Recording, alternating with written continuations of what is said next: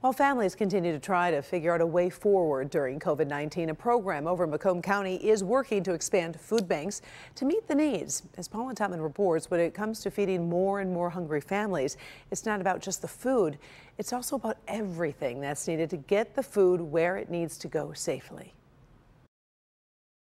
You know, I continue to be amazed at this well choreographed dance going on in Macomb County where various agencies that provide services to people have lost volunteers. And so county workers are actually backfilling those positions. They're getting a lot of work done, but the work is getting harder. The need continues to grow. People who've never needed food or food services before continue to go to food banks looking for help.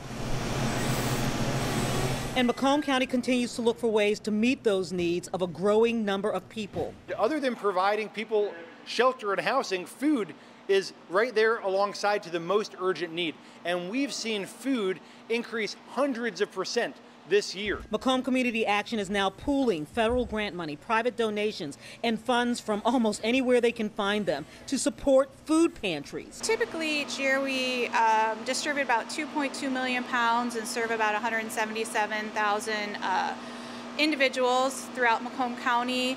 Um, with COVID, we've already seen an increase in uh, over a million pounds distributed. And for those who can't get to food pantries, places like Mobile Mission which launched two years ago by Anthony and Superior Trailer.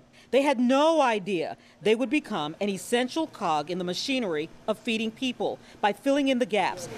And now they are feeding more than 500 families a month. We would not be able to have the expansion that we needed to be able to service the amount of people that we currently serve during COVID 19.